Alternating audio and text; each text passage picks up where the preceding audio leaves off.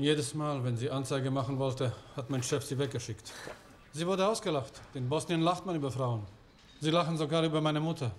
Und man bestraft keine häusliche Gewalt. Gestern wollten Sie helfen. Gut, zeigen Sie mir, wie man vorgeht.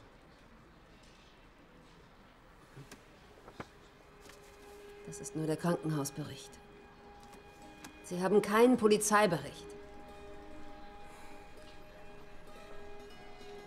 Sie, Sie müssen wie folgt vorgehen. Sie leiten gegen ihn ein Verfahren wegen schwerer Körperverletzung ein.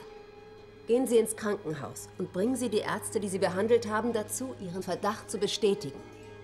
Dann haben Sie vielleicht eine Chance. Und ganz wichtig, Sie müssen... Auf Gerichtsfälle verweisen, in denen bei ähnlichen Angriffen der Täter wegen gefährlicher Körperverletzung verurteilt wurde. Wenn unsere Gerichte entscheiden, dass es eine Straftat ist, einen Mann in einer Bar niederzustechen, dann sollte das Recht auch bei einer Frau angewendet werden, die zu Hause angegriffen wird.